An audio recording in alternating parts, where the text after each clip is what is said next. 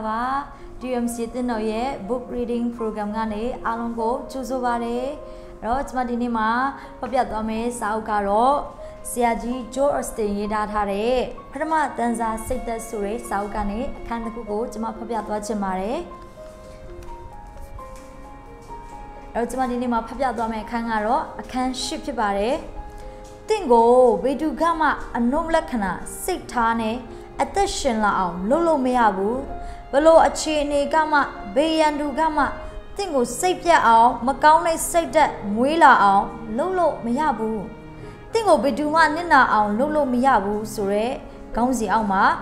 နေချတော်သူအပေါင်းတို့ကိုကြွပြင့်တော်မူ၏ဆာလံခန်းကြီး145အငယ်44ထဲမှာဖော်ပြထားတာဖြစ်တယ်။အဲကျွန်တော်တို့တက်တာထဲမှာရင်ဆိုင်ဖြတ်တန်းရတဲ့အခြေအနေတွေကကျွန်ုပ်တို့ကိုထိုးရက်သွားအောင် ဟန့်တာကောင်းဟန့်တာနိုင်ပါတယ်ဒါပေမဲ့ကျွန်ုပ်တို့ကတတက်လုံးရက်တန်းရမှာမဟုတ်ဘူးအပြင်ပိုင်းမှာလေးကျသွားခဲ့ရင်တော့အတွင်းပိုင်းမှာမတ်တက်ရက်နေတာကိုကုကုကိုမြင်တွေ့ရမှာဖြစ်တယ်တင်ဟာဆရာဝန်စီကဆေးစစ်ချက်သတင်းဆိုးကိုလက်ခံရရှိတာဖြစ်ကောင်းဖြစ်မယ်တင်ရဲ့လုပ်ငန်းထဲမှာအကြီးမားဆုံးသောဆုံးရှုံးမှုကိုရင်ဆိုင်ရတာဖြစ်ကောင်းဖြစ်မယ်။ တင့်ရဲ့ကလေးအခက်ခဲပြဿနာထဲမှာကြာရောက်နေတာဖြစ်ကောင်းဖြစ်မယ်။ဒီလိုအခြေအနေမှာအလေးထိုးခြင်းခံရတယ်။ကျင်းထဲတွန်းချခံရတယ်လို့သင်ခံစားရပါလိမ့်မယ်။ဒါပေမဲ့သတင်းကောင်းကတော့သင်ဟာအပြင်ပိုင်းမှာဘလောက်ပဲအလေးထိုးခြင်းခံရပေမဲ့အတွင်းပိုင်းမှာတော့မတ်တက်ရက်နေတယ်ဆိုတာပါပဲ။တနည်းနဲ့ပြောရရင် အောင်နိုင်သူတယောက်ရဲ့အသွေးနဲ့စိတ်နေတဘောထားမွေးမြူပါ ယုံကြည်ခြင်းစိတ်နေတဘောထားနဲ့ယက်တီပါအနုလက္ခဏာအတွေးထဲမှာစင်ကြင်ပေးခြင်းထဲမှာဒါမှမဟုတ်ဖရာသခင်အပေါ်အပြစ်တင်ခြင်းထဲမှာကြဆင်းဖို့ကိုကိုကိုခွင့်မပြုလိုက်ပါနဲ့ဒီလိုကြွေးကြော်ပါ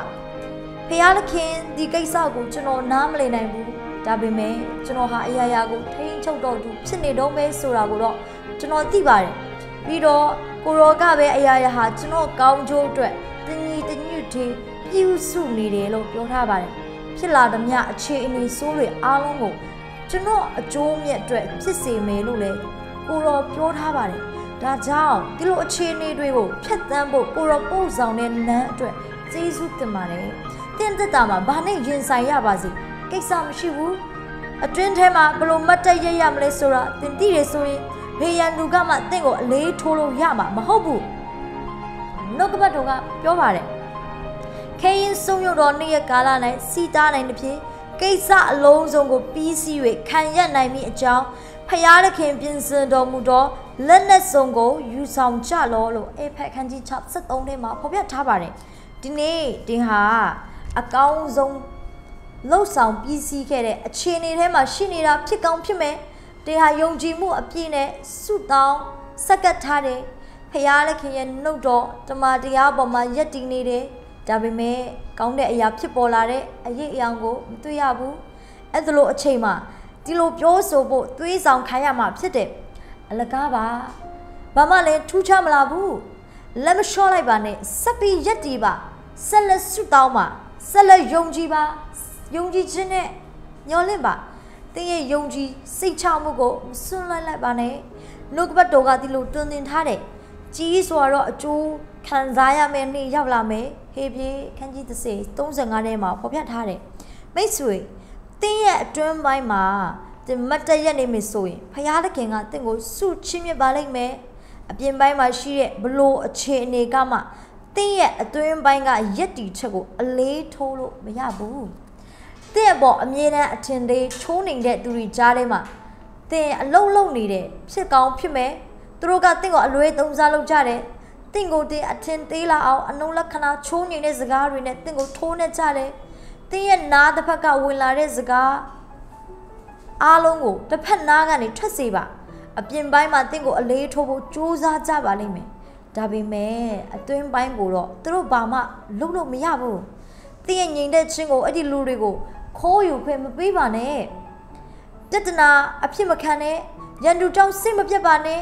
အတွင်းပိုင်းမှာဆက်ပြီးမတ်တရက်နေပါ